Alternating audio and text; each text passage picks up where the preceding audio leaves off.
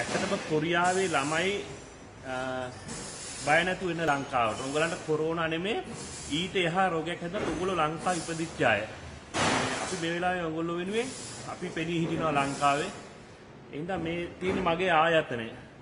ඔයගොල්ලෝ ලංකාවට එන්න මේ ආයතනයේ ඔයගොල්ලෝ වෙනුවෙන් රස්සාවල් තියෙනවා. ඔයගොල්ලන්ට ඔහෙ ලොකු වැටුපක් ගන්නවා. ඕකෙන් භාගයකට වැඩි ප්‍රමාණයක් මම මේ ආයතනයේ අපි සාමාන්‍ය ලොකු වැටුප් ගෙවනවා. මේ අපි කරන්නේ ඔක්කොම යකඩ වැඩ. ඔයගොල්ලෝ කොරියාවේ කරන ওই මහා කැපවීම මෙහෙ කරන්න ඇවිල්ලා. අපි ඔයගොල්ලෝ වෙනුවෙන් රස්සාවල් දෙනවා. අනිවාර්යෙන්ම.